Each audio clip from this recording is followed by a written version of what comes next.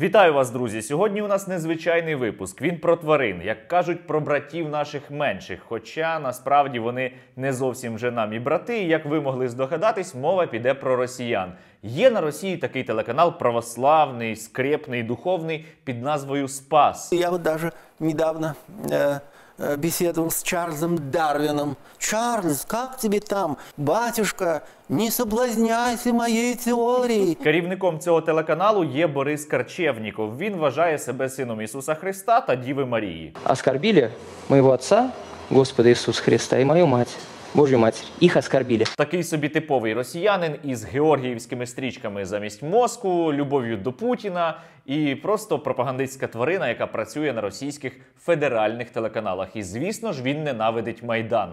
Кто не скачет, тот москаль. Невероятно, что вот это скандировали в центре Европы, в Киеве. У 2014 році він у студію до себе запрошував терористів, які допомагали Росії розпочати проти нас війну. В прямом эфире наши журналисты и лидеры украинского ополчения, А ще він лякав росіян страшною хунтою, узники в руках киевской хунты. брехав про війну на Донбасі, Люди, восставшие против фашизма на юго-востоке Украины. називав звільнення Маріуполя від окупантів розстрілом мирних мешканців. Вот Мариуполь.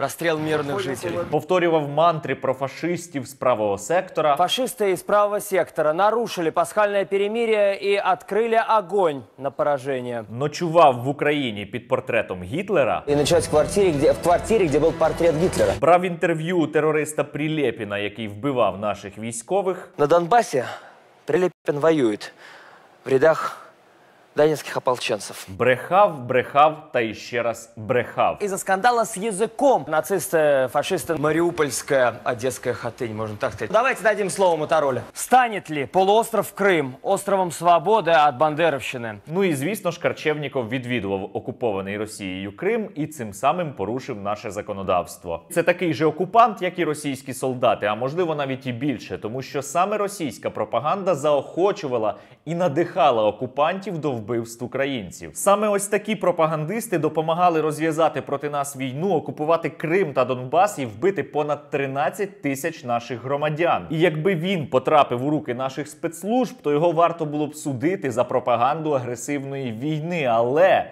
Схоже, що у наших правоохоронців немає претензій до цього росіянина. Бо якщо вірити інстаграму цього чорта, то він прямо зараз знаходиться в Києві. Прилетів він до нас для того, щоб нібито допомагати відновлювати Києво-Печерську лавру, яку тимчасово окупувала російська церква. Але це за великим рахунком і не важливо. Важливо те, що Карчевніков абсолютно вільно та безперешкодно потрапив на територію України. Його пропустила Держприкордонслужба та не затримала Служба безпеки України. І можна було б припустити, що просто за старою національною традицією цей росіянин заблукав, але це вже далеко не перша така ситуація. Зовсім нещодавно я у себе в Фейсбуці писав про те, що у нас по Києву прямо на місцях, де розстрілювали Небесну Сотню, шлялись російські пропагандисти з телеканалу НТВ. Люди погибли, никто не наказан. І раз держава на це не реагує, я пропоную діяти самостійно. Наш президент дуже любить запускати всілякі флешмоби, і я теж хочу один флешмоб запустити. Суть його дуже проста: бачиш росіянина, допоможи йому відчути на собі усі прояви страшної, злої та кривавої. Киевской хунты. Раз керівництво нашої країни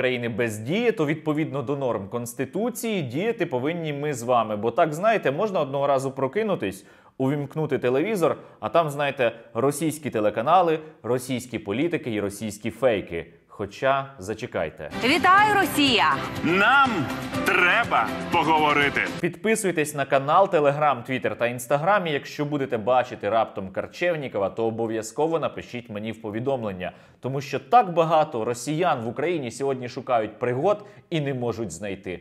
А ми з вами повинні їм допомагати.